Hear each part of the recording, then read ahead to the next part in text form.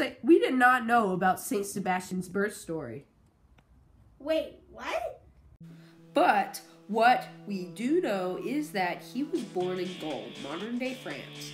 He was believed to be educated in Milan and became a soldier there in 283 AD.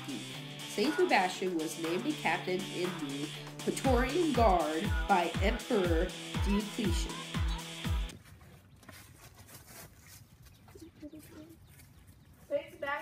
A brilliant soldier.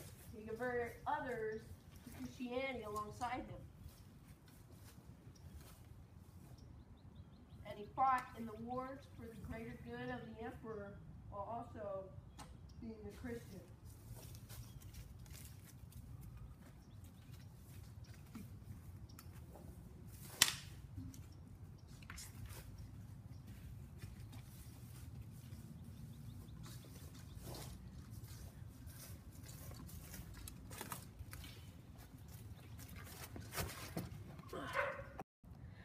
The emperor at the time was, well, they didn't know how Sebastian came a Christian or who told the emperor how he figured it out.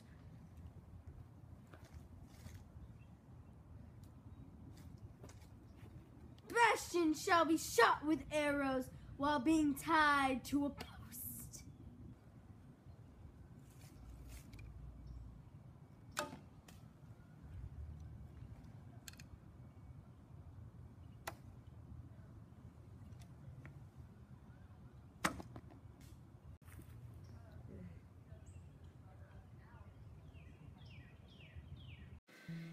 It is said that it was Saint Irena, a widow, that found and nursed Saint Sebastian back to health.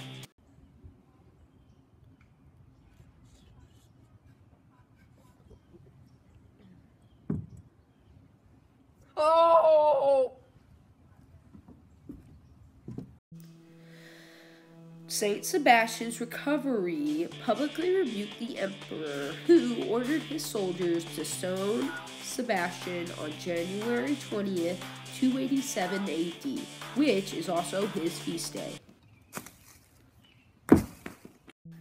Saint Sebastian is the patron saint of athletes, soldiers, police, dying people, and archers, and the Pope's Swiss guards.